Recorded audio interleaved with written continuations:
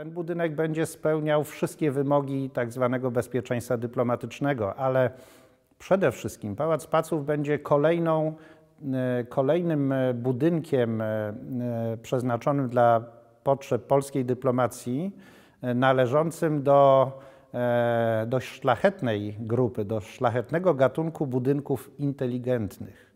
Ten budynek będzie się w dużym stopniu sam zarządzał lub też będziemy mieli możliwość zarządzania z nim zdalnie, z dowolnego miejsca e, na Ziemi poprzez nasze bezpieczne sieci i bezpieczne komputery. E, I zapewne to jest źródłem tych plotek e, na temat, na temat przyszłości tego budynku.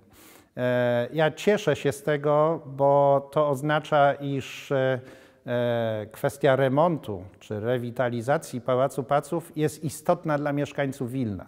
I zapewniam każdorazowo i w tym momencie również, że Pałac Paców, jego kształt, jego przyszłość jest e, istotna również dla nas.